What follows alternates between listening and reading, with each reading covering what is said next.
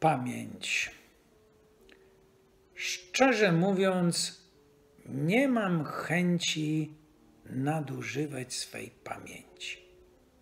Więc wyrzucam z głowy szybko tych, co w życiu mym, a szybką. Tych, co miny mają kwaśne, których ciągle kręcą waśnie, tych, co patrzą wciąż zazdrośnie, że mi w polu samo rośnie. I zapomnę też imiona tych, co krzyczą, żebym skonał.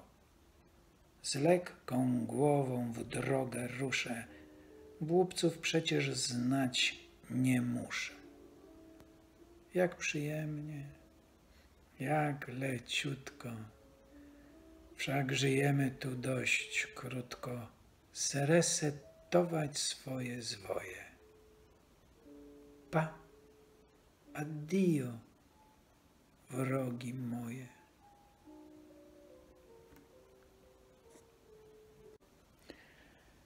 Ach, gdybym królem był na zamku, z okna bym patrzył o poranku na ogród, park i dalej w pole.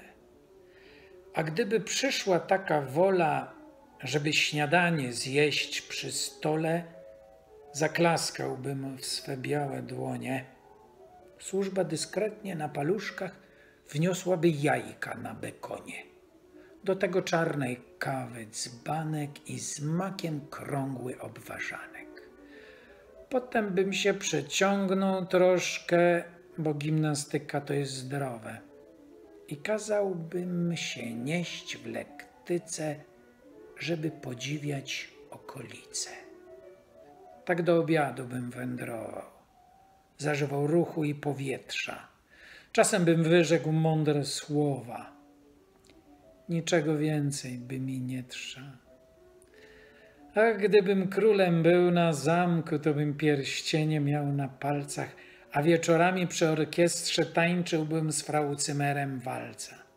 A na noc kładłbym się w pościeli wykrochmalonej i puchowej, w pidżamce w kancik prasowanej, szlafmyce wciągałbym na głowę. Niestety gdybać sobie mogę i nawet wierszyk o tym pisać. Gdyby się każdy władcą rodził, kto by podatki płacił dzisiaj? I kto wielmożnych by w lektyce dźwigał do ziemi pochylony i o czym miałbym sobie marzyć, gdybym szlachetnie urodzonym? Na całe szczęście są wybory. Ruszają z posad stary świat. Kogoś lżejszego nieść w lektyce z radością można kilka lat.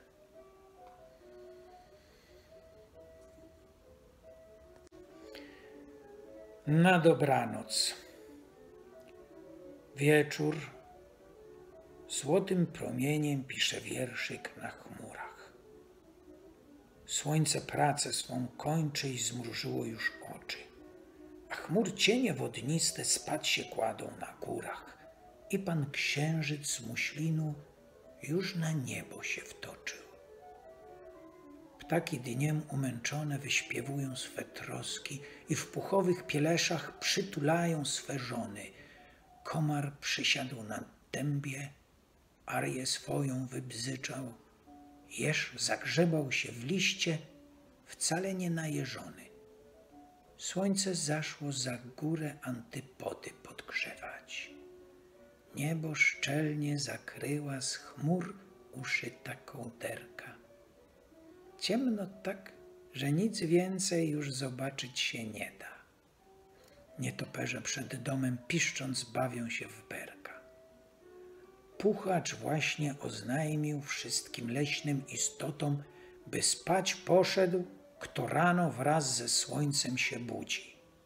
Usnął niedźwiedź i zając, śpi już jeleń i łania. I już pora do spania przyszła także na ludzi.